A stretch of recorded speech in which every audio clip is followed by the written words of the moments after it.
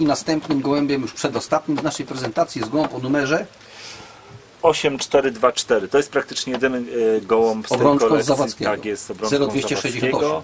Tak jest. A to też jest taki gołąb no, ciekawy, Niebieski. ponieważ z obydwu stron e, rodzicami są oryginalne gołębie od Gaby van den Abele. Był taki czas, kiedy byliśmy u e, Morisa Mateusa z kolegą Arkiem Jędrysikiem i tam wzięliśmy dwie pary. On sobie wziął po jednej sztuce, ja po jednej.